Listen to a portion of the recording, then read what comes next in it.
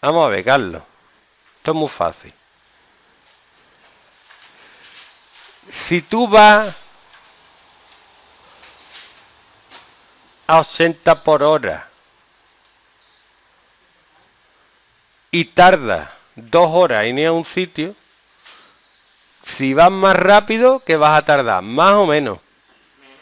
Y si vas el doble de rápido, vas a tardar la mitad de tiempo. ¿Vale? Si tú tienes 10 vacas y tardan en comerse la comida 7 días, si tienes menos vacas, ¿qué van a tardar? ¿Más días o menos días? Más días. Si aquí es la mitad de vacas, tienen que tardar el doble. ¿Qué tienen en común estas proporciones? Que a más de una, menos de otra. O a menos de una, más de la otra. Son proporciones inversas. Lo que tienen en común las inversas es que si multiplica los números, te tiene que dar siempre lo mismo. 80 por 2, 160. 160 por 1, 160. 10 por 7, 70. 5 por 14, 70. A este número se le llama la constante de proporcionalidad. ¿Vale? Típica tabla. Mm, persona, días que tardan en hacer una tarea. Vamos a ver. Si cuatro personas tardan dos días en limpiar una casa, ¿cuánto tardan ocho personas? Pues tú sabes que esto te tiene que dar ocho. ¿Qué número va aquí entonces? Y si aquí hay dos personas,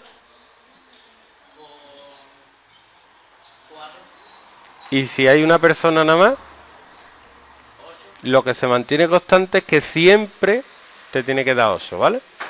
Entonces, típico problema. ¿Cuál es el típico problema? ¿Mm?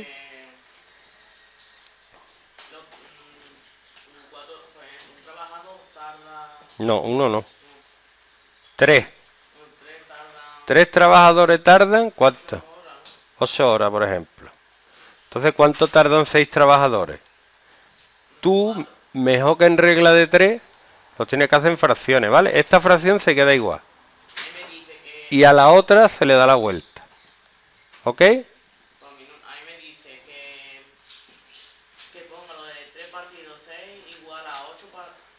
No.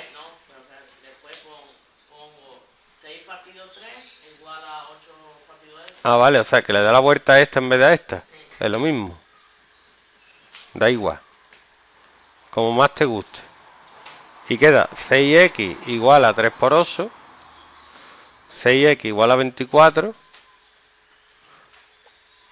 X igual a 4. Y se acabó.